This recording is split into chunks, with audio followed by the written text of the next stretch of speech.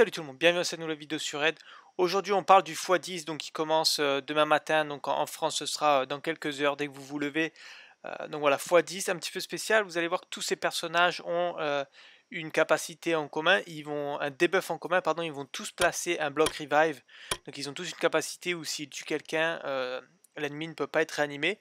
Alors attention, le x10 encore une fois je vous le rappelle, ça n'augmente pas les chances d'avoir euh, un légendaire ou un épique. Les chances restent les mêmes.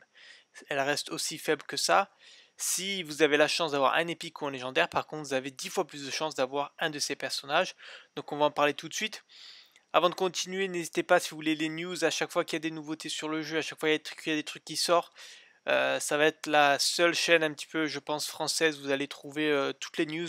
Donc n'hésitez pas à activer euh, la petite cloche et à vous abonner comme ça, vous loupez rien. Alors, le premier, on va commencer, il est...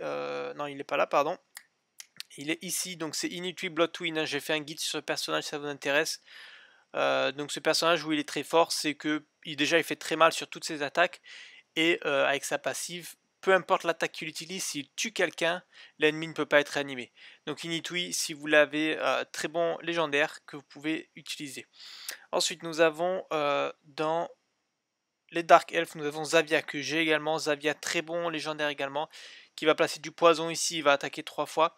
Ici, attaque de zone, elle va placer du poison. Et ici, elle va faire péter tous les poisons. Et si elle tue quelqu'un, mettre un bloc revive. Et cette capacité-là fait très très mal. Euh, avec la prophétesse. Donc prophétesse et Zavia, c'est deux personnages qui sont très utilisés pour les speedruns, donc c'est plus endgame, mais speedrun où vraiment voilà, les mecs qui tuent le dragon en moins de 30 secondes avec Zavia, avec Dracomorph, etc.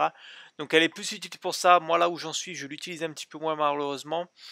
Euh, elle peut être très forte en, boss de clan si vous l'utilisez en manuel uniquement, hein, parce que sinon elle fait péter tous les poisons et ça gâche tout. Donc très bon légendaire, euh, mais voilà, un petit peu délicate à jouer. J'ai un guide sur elle également si ça vous intéresse. Euh, ensuite, nous avons euh, Bloodgord, Bloodgorded, je sais pas comment il s'appelle. Voilà, Bloodgorged. donc légendaire des Undead Horde. Donc lui qui va faire placer réduction de défense sur attaque 1. Bon, ça attaque un ennemi. Voilà, c'est moyen, ça attaque deux fois. Bon, attaque tous les ennemis, ça va mettre les skills en cooldown, ça c'est vraiment top. Euh, surtout en arène, passe en premier, tu mets le en cooldown de tout le monde, t'es tranquille. Et là, attaque un ennemi, il va ignorer la défense, donc 100% de la défense.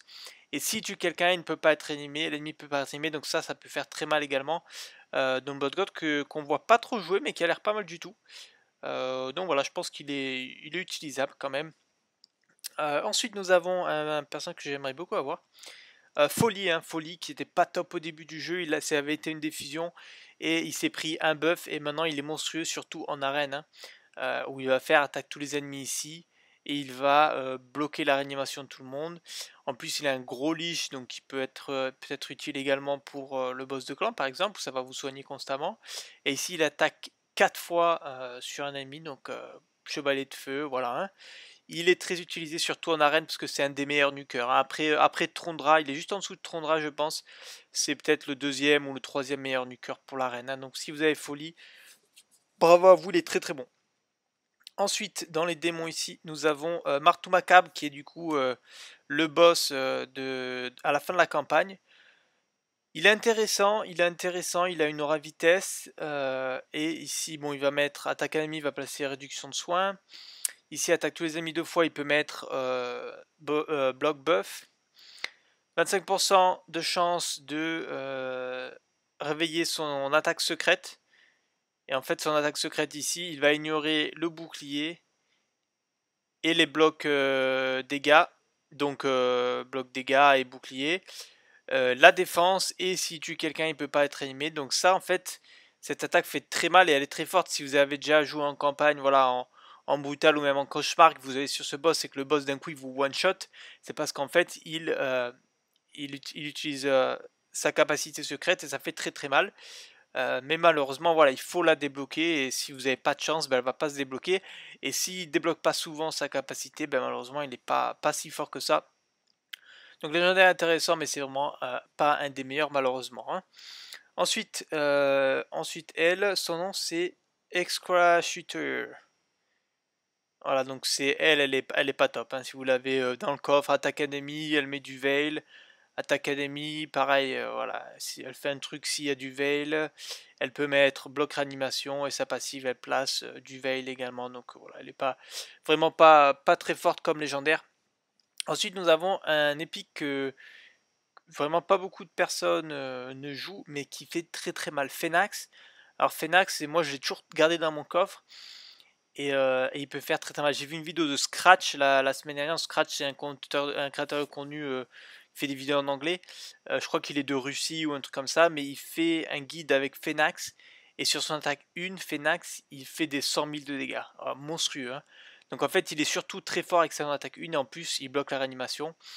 Ici, attaque de zone, dans l'attaque ennemi, pardon, il va mettre réduction de vitesse et réduction de défense. Et ici, attaque de zone où il peut mettre bloc buff également et bloc de cooldown, donc c'est intéressant. Donc Fenas qui est très intéressant et qui peut faire très très mal sur son attaque 1. Hein. Euh, moi, je vais certainement le monter pour ma guerre des factions en tout cas. Hein. Euh, et la dernière, pardon, on en a encore une, ça va être, elle est ici, ça va être euh, Luria. Luria qui est intéressante également. pas tant jouée que ça, mais voilà, ici à l'attaque académie, elle peut mettre tous ces buffs là, donc réduction de défense, réduction de soins, réduction de vitesse attaque tous les ennemis, 50% de chance de placer, et on peut monter à 75% de placer du gel. Et si elle tue quelqu'un, elle ne peut pas être animée. Donc ça, c'est très intéressant en arène, hein, de pouvoir placer du gel comme ça, c'est très très bon. Et si elle attaque un ami, enlève les buffs et elle peut placer euh, bloc buff. Donc euh, également très bon, très, bon, très bon épique. Hein. Donc voilà les amis, encore une fois, c'est à vous de voir, c'est un x10. Donc les chances restent quand même minimes. S'il y a un de ces personnages que vous voulez absolument, vous savez, voilà, il me le faut absolument, mais ben, ouvrez vos éclats. Euh, mais sinon, ne les ouvrez pas moi. Je vais attendre voir le tournoi ici, les récompenses qu'il y a à récupérer de, tournois de chasse aux champions. S'il y a des bons trucs à récupérer, j'ai quelques éclats, je les ouvrirai peut-être. Attention, je pense que le week-end prochain, il y aura un x2 sur les éclats anciens parce que la rotation fait qu'on a voilà éclat sacré, éclat légendaire, éclat néant, éclat bleu, etc. Et ça recommence et entre temps on a des x10. Donc euh, je pense que la semaine prochaine ce sera x2 sur, ou la semaine d'après, ce sera x2 sur les éclats bleus. Donc mes éclats bleus je vais les garder.